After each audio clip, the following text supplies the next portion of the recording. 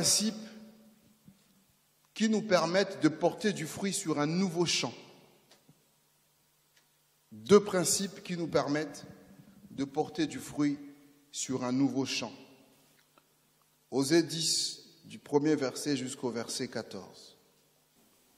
Le problème ici d'Israël, le premier verset dit, Israël était une vigne féconde.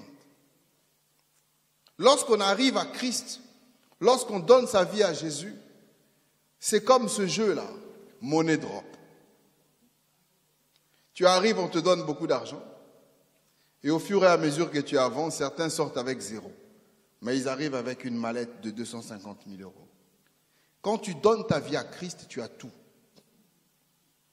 À toi de conserver ce qu'il t'a donné. À toi de garder cette mallette de 250 000 euros et de l'emmener jusqu'au bout. Quand tu reçois Jésus, tu as tout. Maintenant, sur le parcours, il arrive des choses qui font que l'argent part à gauche, l'argent part à droite, et en fin de compte, on finit par se rendre compte qu'on n'a plus rien. Dieu n'est pas un menteur parce que ce n'est pas un homme. Alléluia. Israël était une vigne féconde qui portait beaucoup de fruits. Beaucoup de fruits. Le Seigneur, au travers de ce message, veut que toi et moi, à partir de maintenant, puissions porter beaucoup de fruits. J'aime mon Dieu parce que c'est quelqu'un qui efface. J'aime mon Dieu parce qu'il oublie. J'aime mon Dieu parce que quand il dit je passe à autre chose, il passe à autre chose. Quand il dit j'ai effacé, j'ai, il a effacé. Israël portait du fruit. Mais le problème d'Israël, c'était les fruits qu'il portait.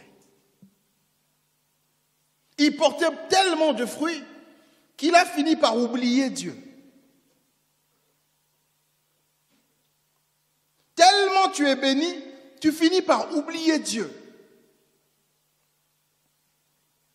Mais ce qui est encore plus grave ici, lisons ensemble le verset premier. Israël était une vigne féconde qui rendait beaucoup de fruits. Plus ce fruit était abondant, plus il a multiplié les hôtels. C'est un non-sens.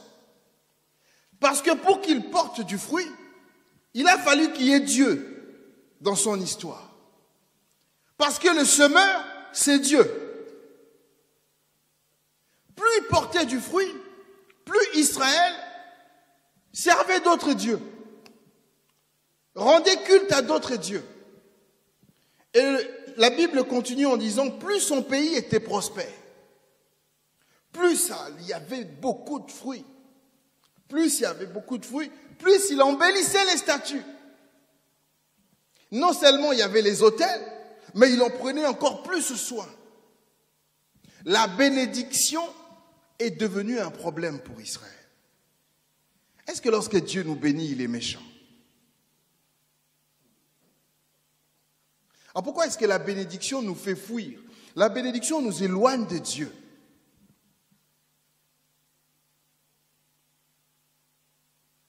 Quand je lisais ça, je bougeais la tête tout seul. J'ai dit, nous les hommes, nous sommes bizarres. Plus ils portaient du fruit, plus ils montaient des hôtels. Tout en sachant que ces hôtels font rien pour eux. Que le fruit qu'ils portent, ça vient de Dieu. Et plus ils devenaient prospères, ils grandissaient, ah ben plus ils prenaient soin de ces hôtels. Donc si c'était une petite chambre, ça devient une maison, ça devient une grande salle où on met des statues à l'intérieur. Et Dieu, dans son amour, regardait tout ça. Alléluia. Le verset 2 dit leur cœur était partagé. Ils ne savaient plus. Ils savaient que la bénédiction vient de Dieu, mais ces statues-là nous font du bien. La bénédiction vient de Dieu, Mais cette ville nouvelle me fait du bien. On est tellement béni que la bénédiction devient une statue. On est tellement béni que la bénédiction devient un hôtel. On veille sur sa bénédiction. Alléluia. Ça devient une idole. Dieu veut qu'à partir de maintenant, tu portes beaucoup de fruits. Alléluia. Que tu portes beaucoup de fruits. Alors il veut nous donner deux principes que nous connaissons. Deux principes. Quand on commence un nouveau chant, il faut appliquer ça. Alléluia. Alors l'Éternel a regardé, il a commencé à compter un peu ce qu'ils ont fait. Le verset 4 dit ceci. Il prononce des paroles vaines, des serments faux lorsqu'il conclut une alliance. Petit à petit, Israël a commencé à rejeter les lois de Dieu. Petit à petit, Israël a commencé à renverser l'autel de Dieu. Petit à petit, Israël a commencé à négliger les principes de Dieu.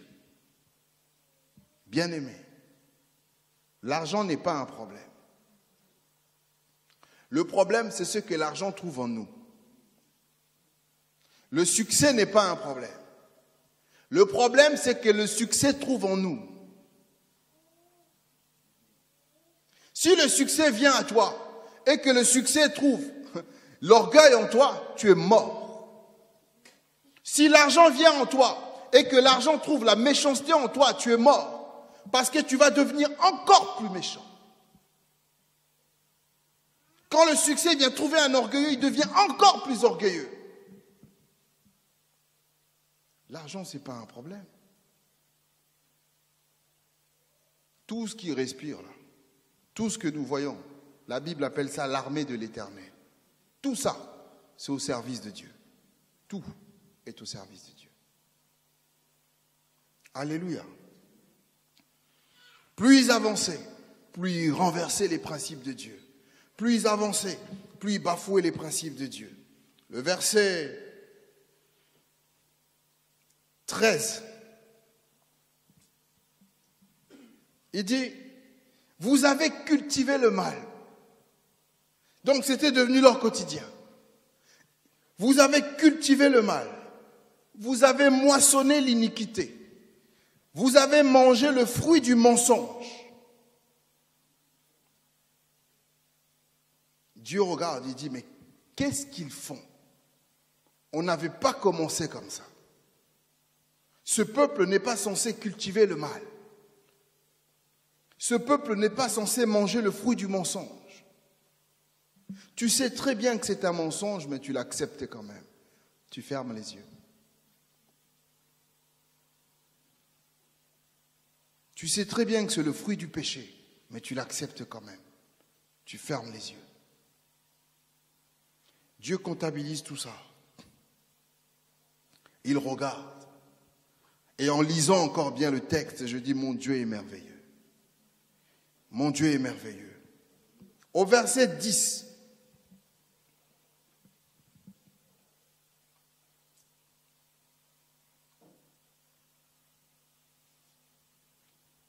Il dit, je les châtirai à mon gré, et des peuples s'assembleront contre eux, quand on les enchaînera pour leur double iniquité. Il prend la décision et dit, je vais les châtier. Parce que ce qu'ils sont en train de faire dépasse les limites. Dieu a mis des limites à toutes choses, bien aimé. Il y a des limites dans toutes choses avec le Seigneur. Et quand nous venons sur terre, il y a aussi des limites dans toutes choses. Il dit, je vais les châtier. Mais dans tout ça, le verset 12, le même Dieu qui est très en colère, au verset 12, il dit, semez selon la justice, moissonnez selon la miséricorde, défrichez-vous un champ nouveau. Il est temps de me chercher afin que je réponde pour vous la justice. Il fait un constat. Il dit, ces gens font n'importe quoi. Ils méritent que je les détruise. Mais il vient encore, il dit, je sais comment vous pouvez arranger ça. Ne semez pas l'iniquité, ne semez pas le mensonge, semez la justice. Il donne des solutions. Il dit, cherchez-moi. J'ai envie de vous faire du bien, mais vous ne me cherchez pas. Cherchez-moi pour que je vous fasse du bien. On sert un Dieu merveilleux. Ce n'est pas le Père Fouettard, c'est un Père. Et un Père, quand on dépasse les limites, d'une manière ou d'une autre, il frappe quand même. Même s'il te frappe en public et qu'il va pleurer dans sa chambre, il te frappera quand même en public parce que en public tu as dépassé les limites. Israël avait dépassé des limites. Dieu a dit je vais les châtier. Mais en disant je vais les châtier, il leur donne une solution. Il leur donne quand même des échappatoires. Alléluia. Maintenant si nous remontons déjà au verset 2. Le premier verset, il fait un constat. Il dit ils ont dressé des hôtels. Ils prennent soin de leur statut. Mais rien qu'au verset 2, deuxième partie, l'Éternel renversera leurs autels et détruira leurs statues. Moi, si j'étais Dieu, je regarde, je dis, ce peuple ne m'aime pas. Je leur fais du bien, mais eux, ils élèvent des autels pour d'autres dieux. Je leur fais du bien, mais ils ne prennent pas soin de moi. Ils prennent soin des statuettes des morceaux de bois. Moi, si j'étais Dieu, j'applique la sentence. Mais moi, je ne suis pas Dieu. Dieu, lui, il est miséricordieux. Il regarde, il dit, donc, c'est les hôtels qui prennent ma place au milieu de vous. C'est les statues qui prennent ma place au milieu de vous. Je veux m'en charger. Tu devrais bénir le Seigneur. Tu devrais rendre gloire à Dieu. Parce qu'il y a des choses qu'il fait malgré toi. Il y a des combats qu'il mène malgré toi. Tu vas, tu, je prends l'exemple des féticheurs, tu vas dans la maison du féticheur toi-même. Tu conclus un pacte, une alliance de mensonges toi-même. Mais à cause de ton amour, quand tu sors de là, il va voir le féticheur et dit, si tu poursuis mon enfant, ça c'est malgré toi. Mais ça ne veut pas dire continue. Abraham a menti. Il vend sa femme. Il part. Le roi veut aller avec la femme. Dieu vient et dit, si tu touches. Mais qui a fauté? C'est Abraham. Mais Dieu est tellement rempli d'amour parce qu'il a un plan pour toi. Il a un projet pour toi.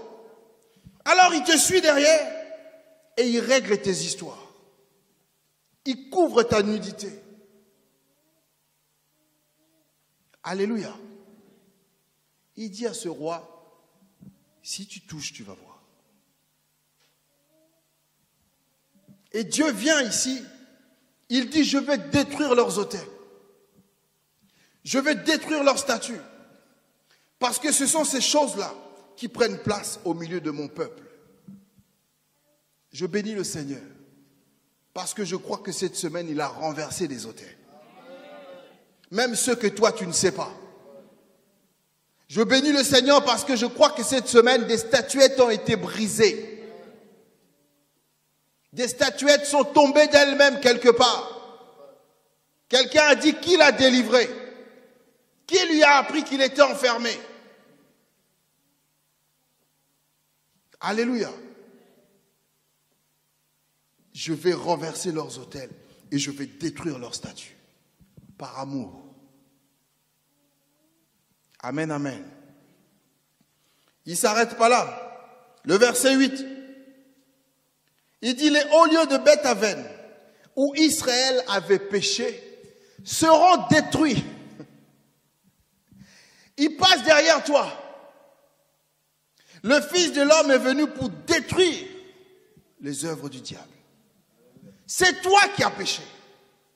C'est toi qui as cassé les choses. Mais lui, dans son amour, il passe derrière toi. Il dit ça, c'est l'objet de ton péché. C'est à cause de ça que tu as péché. Il détruit la chose. On doit prendre conscience de ce grand amour qu'il a pour nous. Dieu nous aime. Dieu nous aime.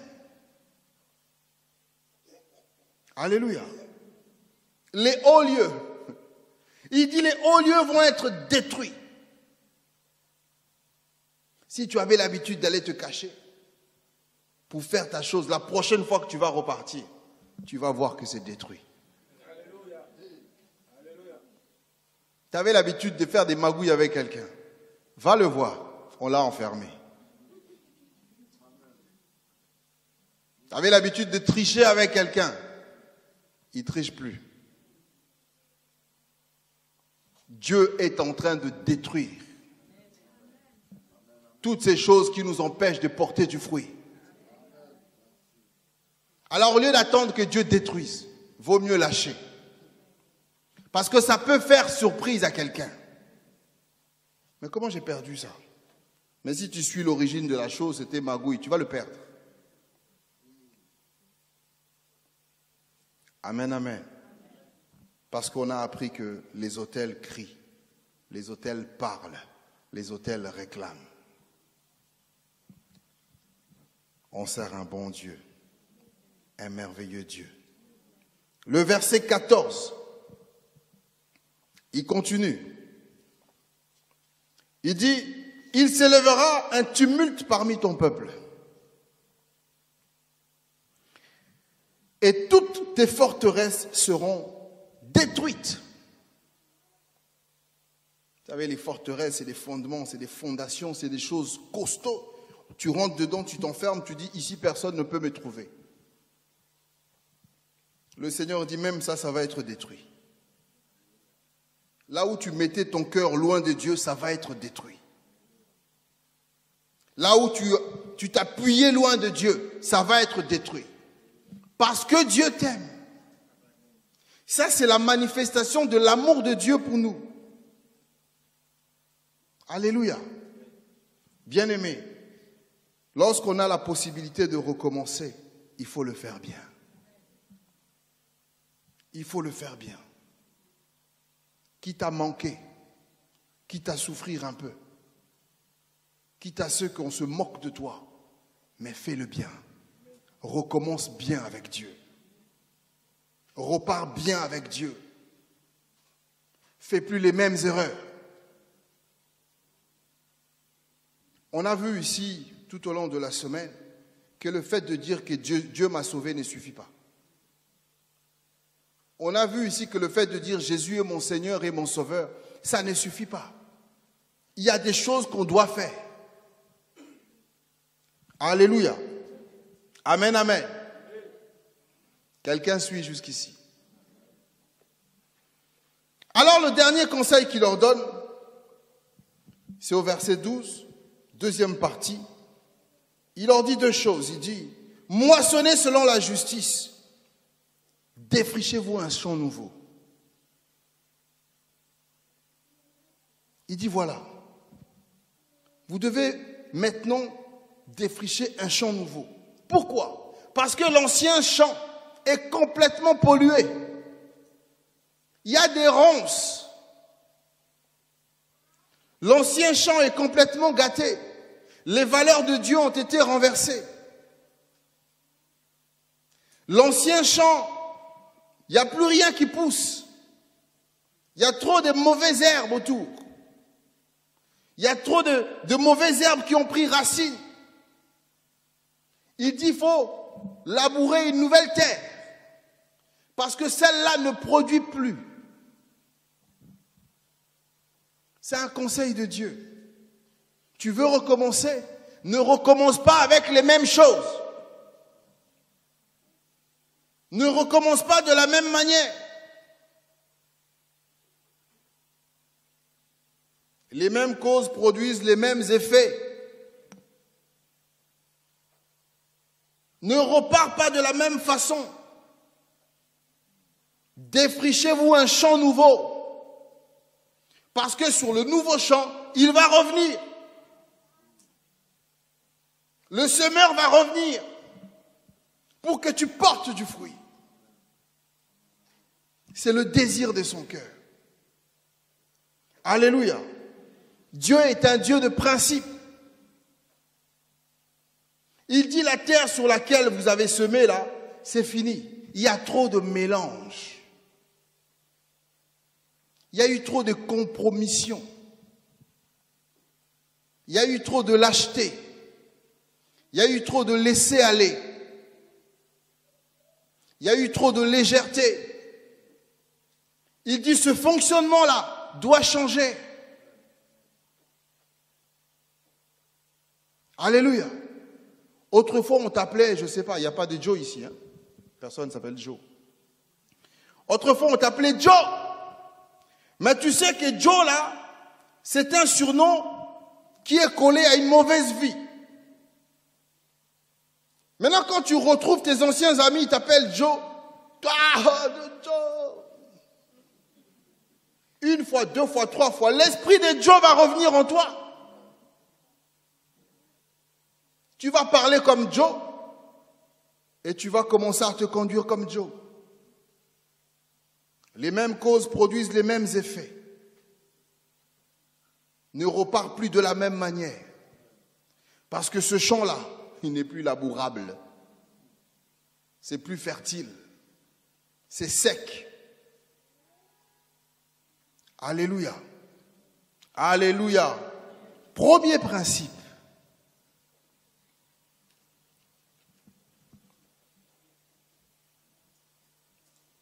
Savoir rendre grâce à Dieu. Israël ont oublié. On peut dire ça comme ça.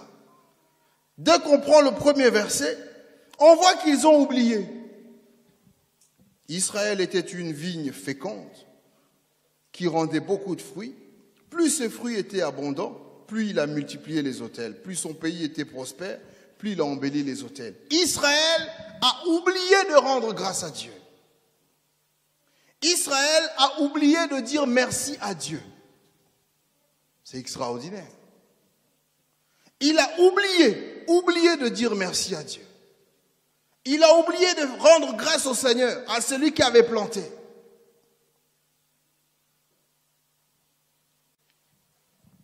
Dans l'Ancien Testament, il est écrit que un lépreux doit être mis hors du camp. Il ne vit pas dans la même communauté que tout le monde. une fois qu'on a constaté par le souverain sacrificateur que tu es lépreux, tu sors du camp.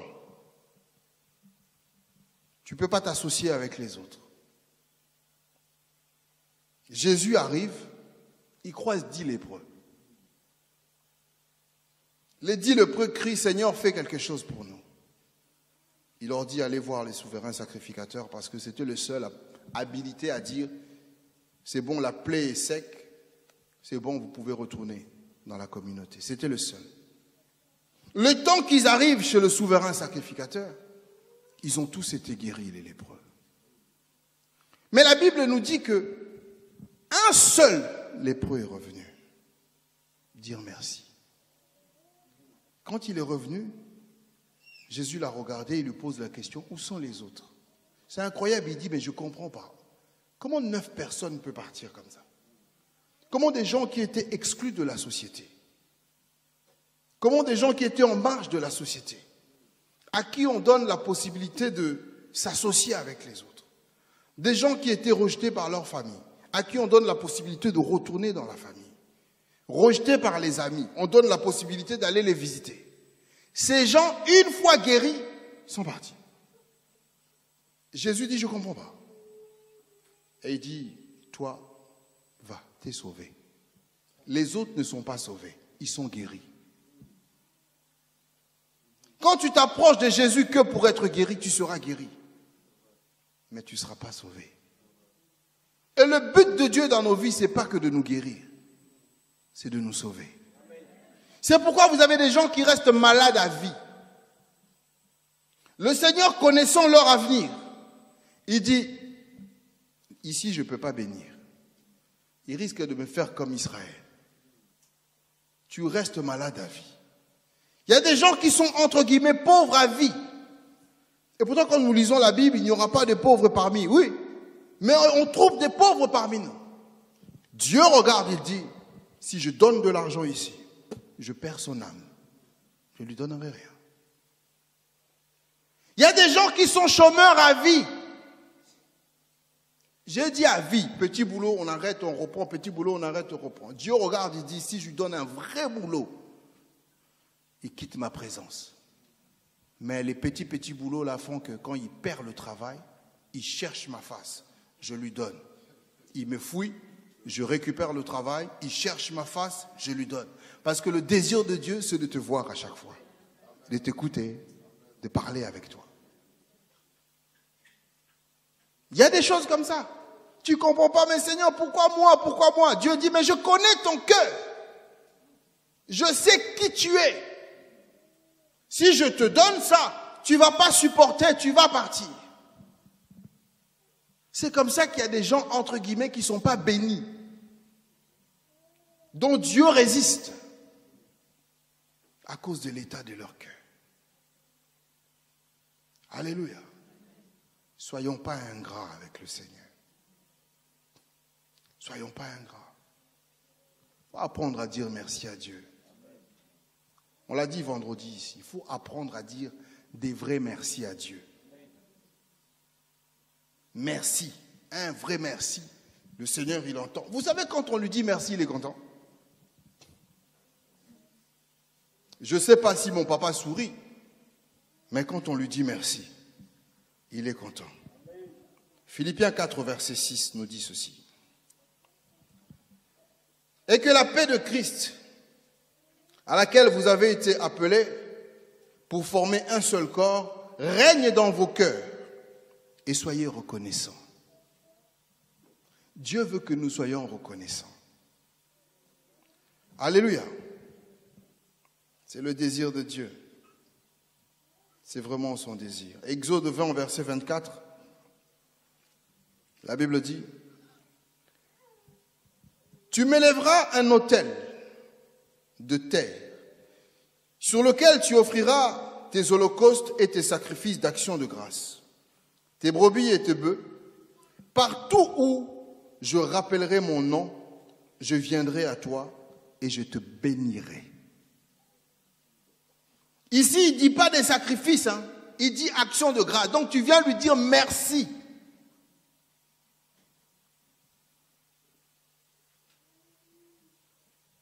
Tu viens juste dire merci. Juste parce que tu dis merci, lui il dit je te bénirai. Vendredi, nous avons vu l'histoire de Salomon. Tout le monde aimerait bien avoir le rêve de Salomon. Nous-mêmes, nous voulons avoir les rêves de Salomon. Seigneur, moi aussi, je veux le rêve de Salomon. Remplis-moi de sagesse comme Salomon. Mais jusqu'à présent,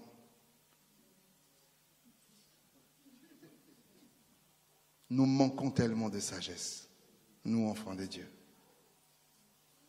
Salomon, on l'a vu, qu'est-ce qu'il a fait? Dès que il a été intronisé roi, Dès qu'il s'est marié, Salomon est vite parti faire des offrandes à Dieu. Rapidement, action de grâce à l'Éternel. On a vu, on a lu, il a offert plus de mille bœufs en action de grâce à Dieu.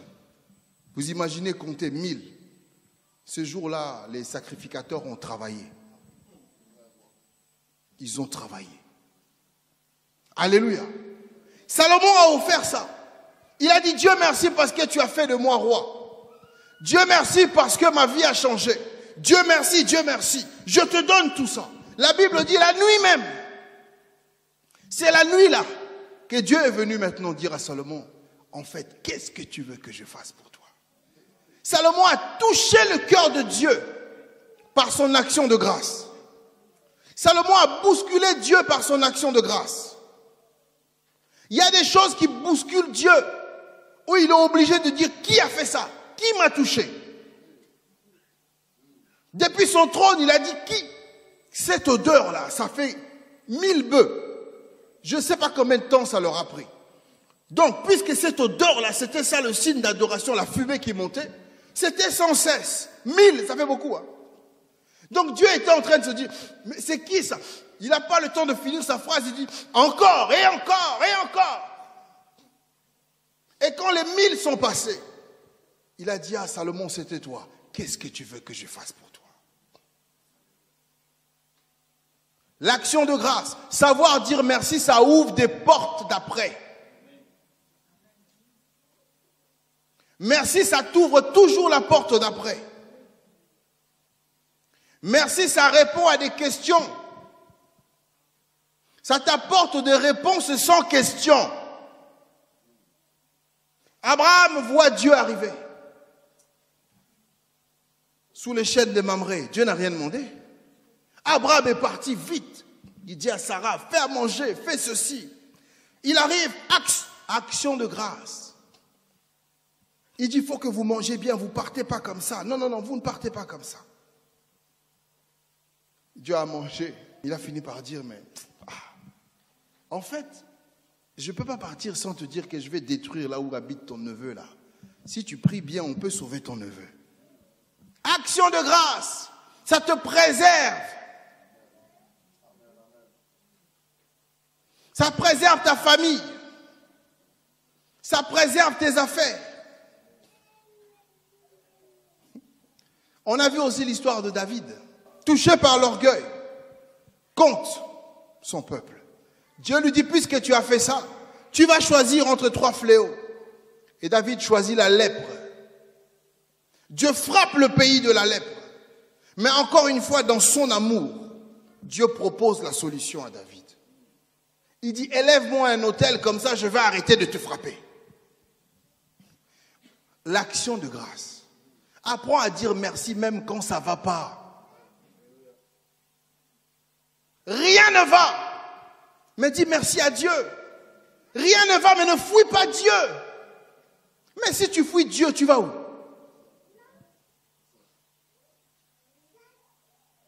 David a dit, ok, il court.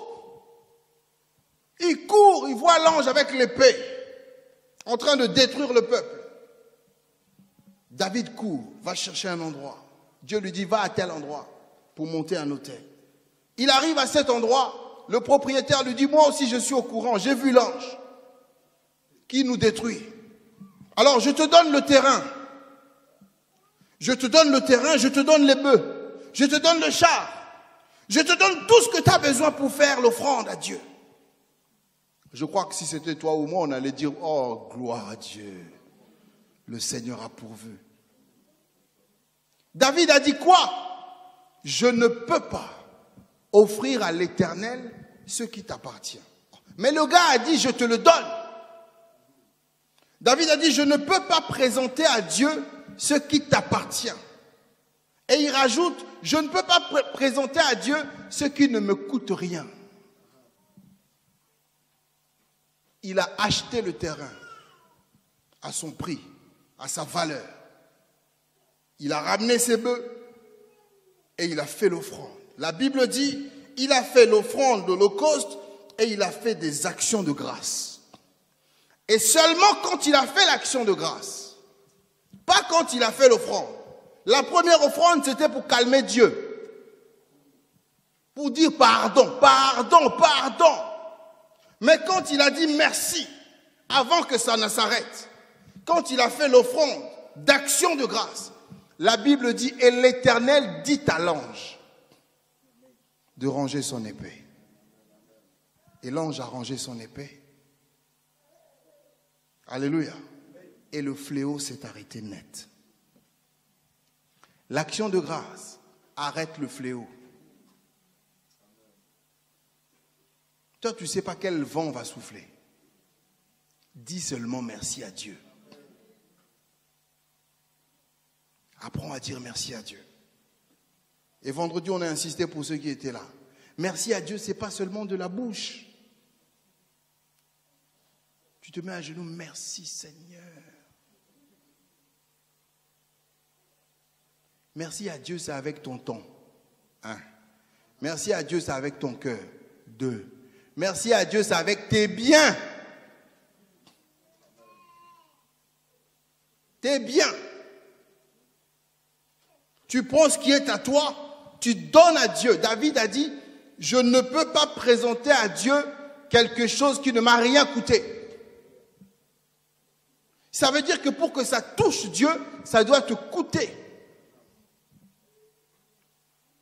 Est-ce que ça te coûte de prier? Est-ce que ça te coûte tes offrandes? Est-ce que ça te coûte? Le Seigneur Jésus donne un exemple, il dit, il est dans le temple, il voit des gens qui mettent de l'argent, mais une femme qui met des pièces et il dit que cette femme a mis plus que tout le monde. Et il nous explique, il dit, les autres ont mis de leur superflu. Même si c'est des millions que tu donnes, si ces millions ne te coûtent pas, ça ne touche pas Dieu. L'offrande qui touche Dieu, c'est l'offrande qui nous coûte. Ça peut te coûter en préparation. On a vu avec Élie. En préparation, Élie a pris le temps de préparer son offrande. L'apôtre Paul, il vient, il confirme, il dit, il faut préparer ton offrande. Je le dis ici, ce n'est pas au moment où on dit, on va mettre les offrandes que tu cherches si tu en as. Ah Dieu regarde, il dit, quel mépris. Ouais. Il dit, quel mépris. Amen. Deutéronome 16, 16. Ça dit la même chose, mais je préfère dans l'autre.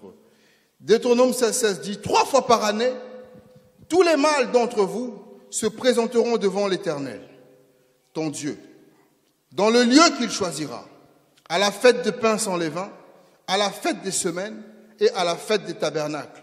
On ne paraîtra point devant l'Éternel les mains vides.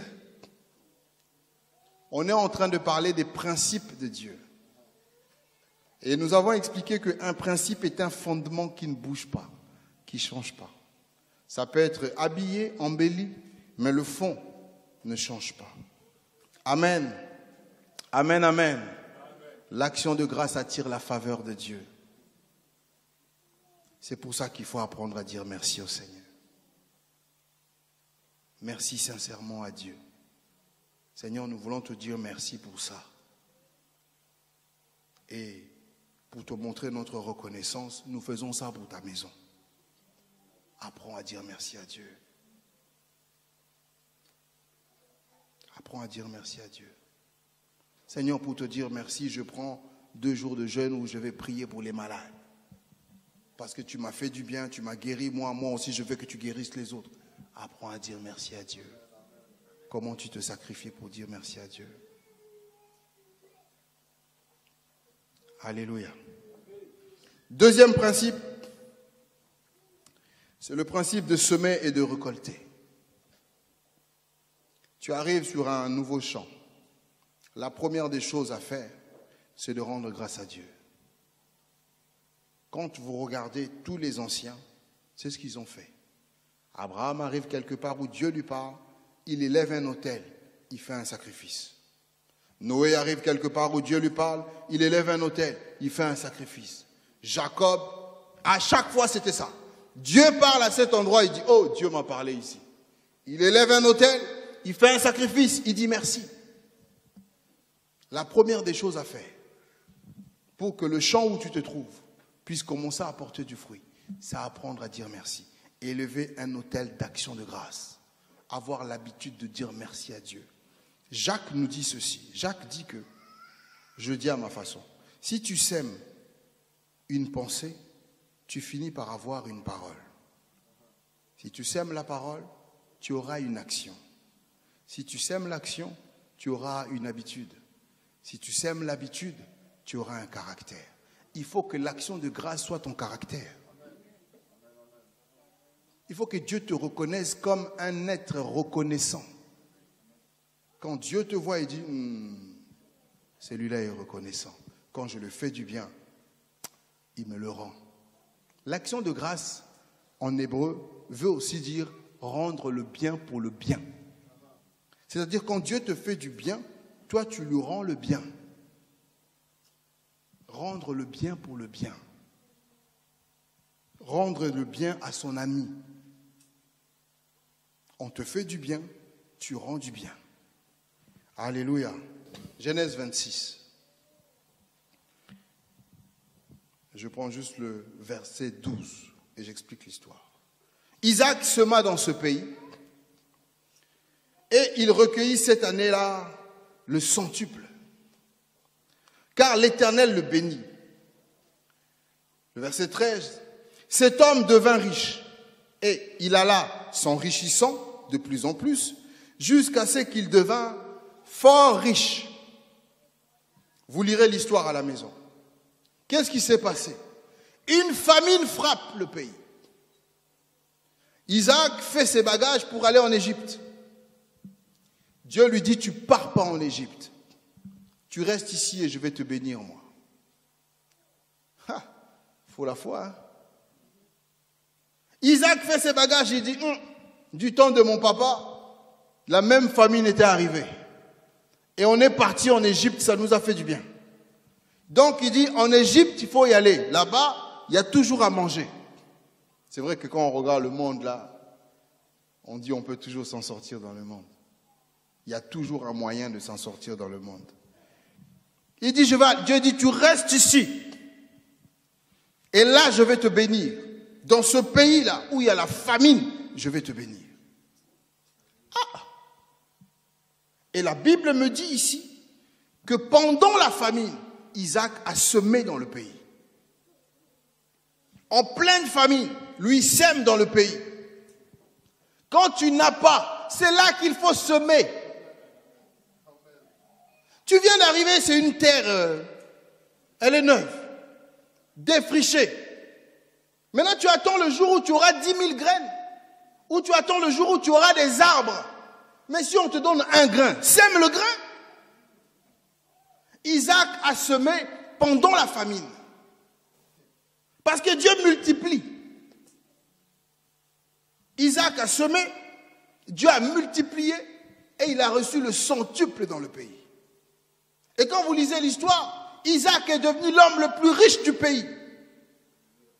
Il est arrivé parce qu'il avait faim, mais il a compris la stratégie de Dieu de semer pendant la famine de donner pendant que tu n'as pas, de donner le peu que tu as. Il a semé. Et Dieu a pris la semence. Il a multiplié. Ce qu'il faut savoir par rapport à la semence, c'est que dans Genèse 1, versets 11 et 12, ce qu'il faut savoir par rapport à la semence, c'est que dans la semence, une semence, quand vous la semez, il faut déjà voir l'arbre. Parce que dans la petite semence, là, il y a déjà le fruit. C'est pas moi qui le dis, hein.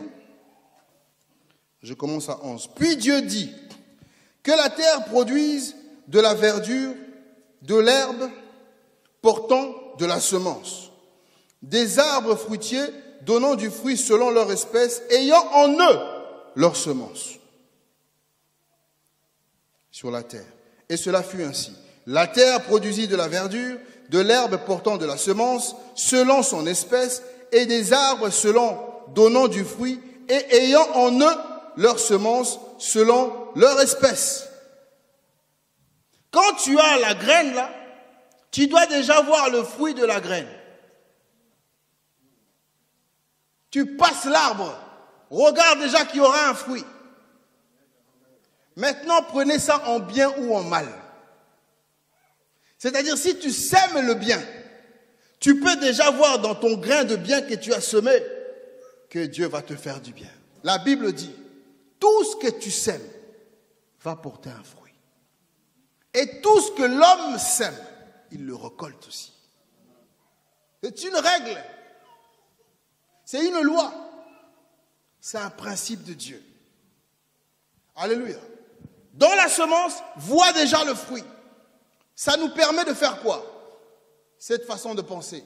Ça nous permet de dire, si je fais ça, je vais avoir tel problème. Donc avant même de commencer, tu vois déjà le... Hmm, quand ça va revenir comme un boomerang, vaut mieux que je ne le fasse pas. Si tu réfléchis comme ça, il y a des choses que tu ne diras plus. Il y a des choses que tu ne feras plus. Il y a des endroits où tu n'iras plus. Parce que tu vas dire, si je sème ça, quand le fruit va venir, parce que tu dois voir le fruit. Tu dois voir le fruit. Un autre principe de la semence, c'est que tu dois savoir que la semence, elle sera toujours plus petite que la récolte. Tu peux semer des millions et des millions. Dieu regarde, il dit, c'est une semence, donc c'est petit. Tu peux semer des temps et des temps, ça reste petit. Donc il faut savoir que la petite chose que tu sèmes va t'apporter de grandes choses, en bien ou en mal.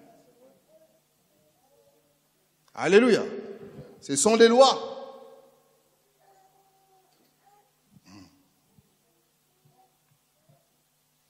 Ce que tu dois savoir, c'est que quand tu sèmes, tu dois le faire avec foi. C'est comme ça que tu peux voir le fruit. Jésus va, va dire à Pierre, écoute, j'ai vu que tu galères, tu pêches, tu pêches, mais il ne se passe rien. Jette un peu ton filet vers là-bas. Jette ton filet vers là-bas. Et tu vas prendre des poissons. Pierre le regarde et lui dit dans son cœur, c'est moi, je paraphrase. Il dit dans son cœur, ah, Regarde-moi ce gars-là qui pêche là. Lui, il parle, il parle, il parle, il parle. Mais moi, je pêche. Moi, je suis un grand pêcheur. J'ai fait ça toute la nuit, aucun poisson. Bon, maintenant, lui, il vient, il monte. Déjà, je lui prête mon bateau. Il est sur ma pirogue. Il fait que parler, parler depuis des heures. Et il me dit, de... qu'est-ce qu'il connaît, lui, à la pêche? Après, il finit par parler. Il dit, bon, sur ta parole, si ça ne marche pas, c'est toi qui as dit. Tout le monde t'a écouté ici. Vous voyez comment ça marche la foi? Tout le monde t'a écouté. Parce que quelquefois, les chrétiens fonctionnent avec leur propre foi. Si tu fonctionnes avec ta propre foi, ça veut dire quoi la propre foi? T'appuyer sur toi-même. Moi, quand je prie, ça marche. Moi, quand je demande à Dieu, il fait. Eh, eh. Moi, quand... Pierre a dit, c'est toi qui as parlé sur ta parole. Là, tout le monde écoute. Hein. Sur ta parole, je jette mon filet. Pierre est parti sur la parole. Il a jeté son filet. Pierre n'a pas cru en son filet. Il n'a pas cru à son expérience. Il croyait même pas en lui-même. Puisqu'il savait qu'il a fait ça toute la nuit, ça n'a pas marché. Mais il dit au Seigneur, sur ta parole, je jette mon filet. Je prends aucun risque. Quand tu sèmes, appuie-toi sur la parole de Dieu. Ne prends aucun risque. Ne dis pas, moi, quand je sème, Dieu fait. Ah, là, c'est ta parole. Appuie-toi sur la parole de Dieu pour semer. C'est un champ nouveau. Tu dois fonctionner autrement. Amen. Pour finir, un roi 17. verset 10 au verset 12. On nous parle d'Élie avec la veuve de Sarepta. Il se leva et il alla à Sarepta. Comme il arrivait à l'entrée de la ville, voici, il y avait une femme, veuve, qui ramassait du bois. Il appela et dit, va me chercher, je te prie, un peu d'eau dans un vase, afin que je boive. Et elle alla en chercher. Il appela de nouveau et dit, apporte-moi, je te prie, un morceau de pain dans ta main. Et elle répondit, l'Éternel, ton Dieu est vivant, je n'ai rien de cuit. Je n'ai qu'une poignée de farine dans un pot et un peu d'huile dans une cruche. Et voici, je ramasse deux morceaux de bois, puis je rentrerai et je préparerai cela pour moi et pour mon fils. Nous mangerons et après quoi nous mourrons. Élie, c'est Dieu qui lui dit, il prend aucun risque. Dieu lui dit, va là-bas, à Sarepta, il y a une veuve qui va prendre soin de toi. Donc, moi je ne sais pas, j'aime imaginer. J'imagine que Élie se disait, certainement la veuve là, elle a, elle a un placard garni. Parce que c'était la famine. Certainement, elle, elle a de quoi manger chez elle. Dieu, s'il m'envoie là-bas, hmm, Dieu, Dieu pourvoit toujours. Dieu pourvoit. Ça, c'est les. On répète des phrases avec nos yeux, là. Donc, quand on dit Dieu pourvoit, en fait, on imagine que là où on va arriver, Dieu a déjà fait. Il faut pas imaginer avec Dieu. Hein. Il faut s'appuyer sur la parole. Élie arrive, il dit, va me chercher un peu d'eau. La femme l'emmène de l'eau, il dit, ah, c'est bien elle. C'est bon, ici, à manger. Fais-moi aussi à manger. Elle lui dit, moi, je n'ai pas à manger ici. Tout ce qui nous reste, c'est ça. Si je te prépare ça, comment nous, nous allons vivre? Si moi, je te donne ça, nous, on va mourir. Laisse-moi au moins manger ça avec mon enfant. Et après, on va mourir. On veut au moins avoir le dernier repas. Mais Élie avait la parole. Élie savait que Dieu allait prendre soin de lui par cette femme-là. Mais elle ne savait pas. La condition pour que Dieu intervienne, elle devait sacrifier. Elle devait semer d'abord dans la vie d'Élie. Élie arrive, il dit Donne-moi à boire. Elle va, elle lui donne à boire. Ensuite, il dit Donne-moi à manger. Elle lui dit Mais on va mourir. Donne-moi quand même à manger. Moi, je mange et après vous, vous allez manger. Alléluia. Dieu dit, tu dois d'abord semer. Il n'y a pas d'autel sans sacrifice. Il n'y a pas de relation stable avec Dieu s'il n'y a pas de sacrifice. Parce qu'on croit que c'est un ami.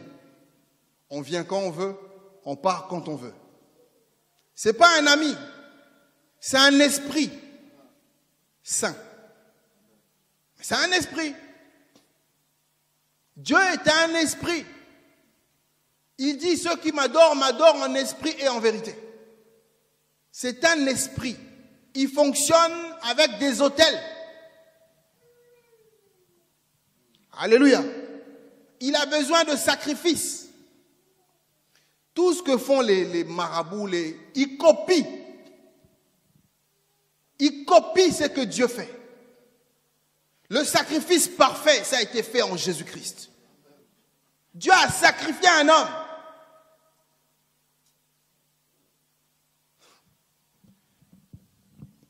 Élie dit à cette femme, donne-moi à manger, quitte à ce que tu meurs, donne-moi d'abord. Tu dois d'abord me donner. Tu dois d'abord semer. Vous savez, parfois, pour voir la main de Dieu, il faut semer en pleurant.